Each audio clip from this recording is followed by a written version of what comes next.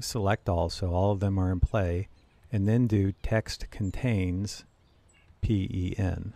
That'll pick up pencils, pen set, and pen. And then once you have a filter on, you can see that changes from an image of the upside down triangle to the filter so you know that there's an active filter on here. So that tells you it's probably not showing everything right now.